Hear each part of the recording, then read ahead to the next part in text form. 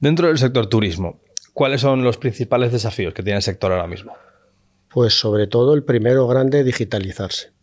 Parece mentira, pero un sector en nuestro país del cual dependemos tanto, el tema de los datos como lo han tenido toda la vida apartado. Entonces el primer gran reto, es digitalizarse y cuando ya estén los datos en condiciones, pues entonces empezaremos a aplicar técnicas avanzadas. Lo que estamos viendo es que hay diferentes empresas, diferentes sectores dentro del turismo que tienen diferentes velocidades. Hay industrias que tienen los datos muy bien digitalizados y ya están haciendo, están aplicando inteligencia artificial. Y hay, otros, hay otras empresas que están directamente con hojas Excel y apuntando los datos a papel incluso, que luego tienes que hacer un reconocimiento de caracteres, un OCR, para intentar sacar los datos de ahí. Vale. Eh, ¿Cómo está ayudando la IA a resolver estos problemas? Pues a diferentes niveles.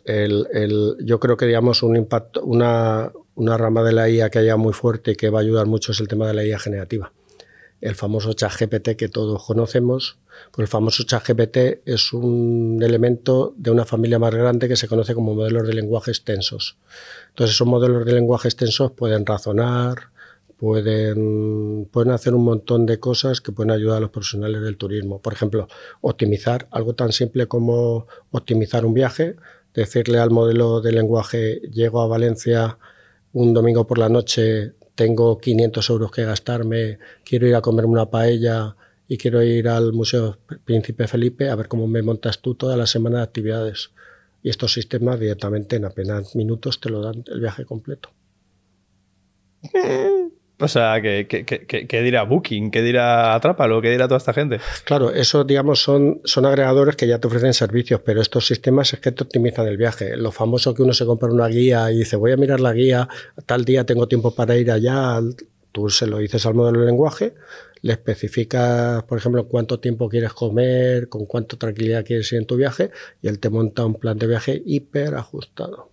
Vale, ¿y cómo funciona esto? Es una pregunta global, aunque la podemos tirar al turismo, pero es una pregunta global. Eh, una de las limitaciones de la IA, que es el problema que tiene ahora cuando la gente en vez de utilizar Google utiliza ChatGPT, es que el resultado es único.